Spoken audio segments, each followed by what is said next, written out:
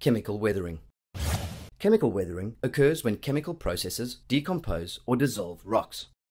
Chemical weathering changes the composition of the rocks by a chemical reaction. The reaction may also change the color of the rocks. Rainwater absorbs carbon dioxide from the air, making it into a weak carbonic acid. As the acidic rainwater moves over and through the rocks, it reacts with the minerals in the rock. Some of the minerals are dissolved by acidic rain. Limestone and chalk, which are made of calcium carbonate, easily dissolve in the acidic rainwater.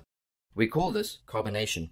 If the acidic water flows underground in a limestone region, the underground limestone is dissolved and caves are formed.